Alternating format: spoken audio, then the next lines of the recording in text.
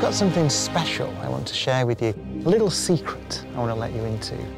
But first, I want to tell you about time travel. See, time travel isn't just science fiction.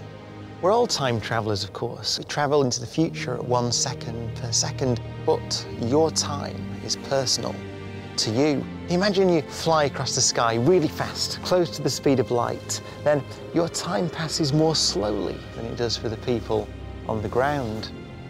Which brings me back to my little secret. Santa really can deliver all his presents to all the children all over the world in just one evening.